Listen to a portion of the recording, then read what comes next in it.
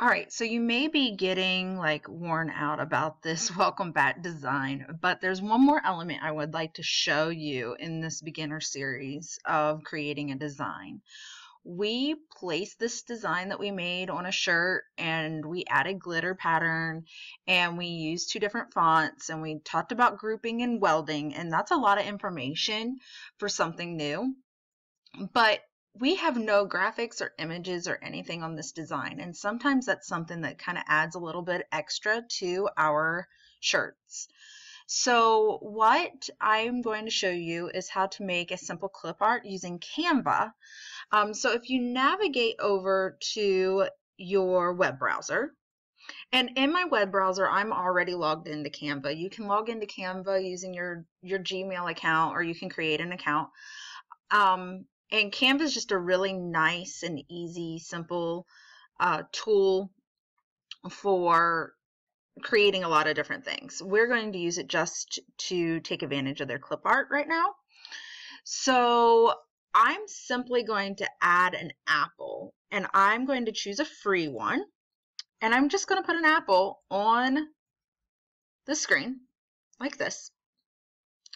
And then I'm going to download that apple and I'm going to um, choose either a PNG or a JPEG. And since for the purposes of what I'm using it for, a JPEG will do fine, I'm going to go ahead and download that. And then I'm going to save that as Apple clip art. And I'm going to save that clip art to my file folder and then navigate back to Silhouette. In the Silhouette file, I'm going to then bring up my File Explorer and go into the folder where I saved my apple and find my apple clip art and drag it into Silhouette. Just like we dragged the t-shirt for the mock-up when we were testing out the that method.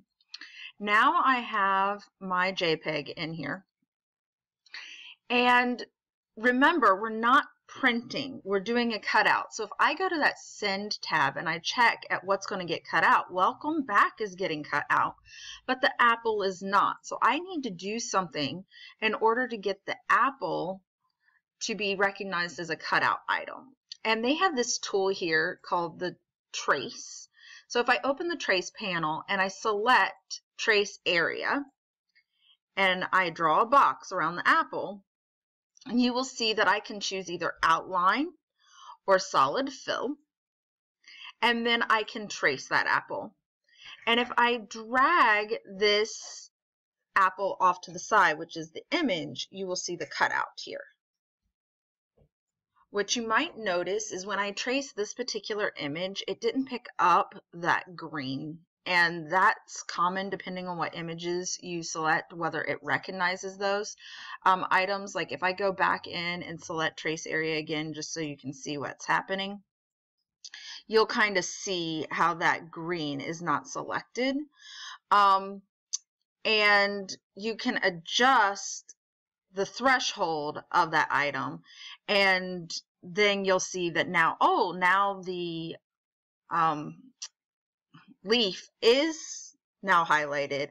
And then if you choose trace again and drag this off to the side, you've got a little bit different of an image to work with. So um, it's kind of nice if you didn't want the leaf, um, then it wasn't there. And if you do want the leaf, now we've discussed how you can maybe use an image and trace it and have it result like this. Now remember, I do not have to color this as a glitter in order to print it out or cut it out as glitter because um, it's just going to cut whatever I put on my sheet, whatever we see in those dark red lines when I click on send, okay?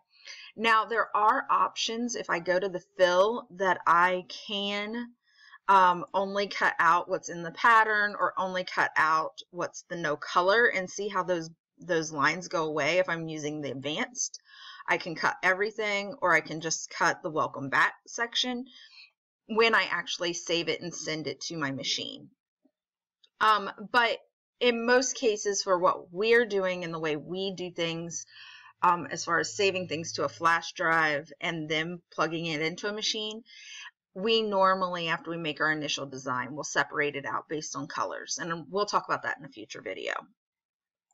So keep in mind, this does not have to be changed to glitter, but if we wanted to change it to glitter, like the rest of the design, so we can see what it looks like, I can then change it to glitter, just like my other elements so I can see what that would look like.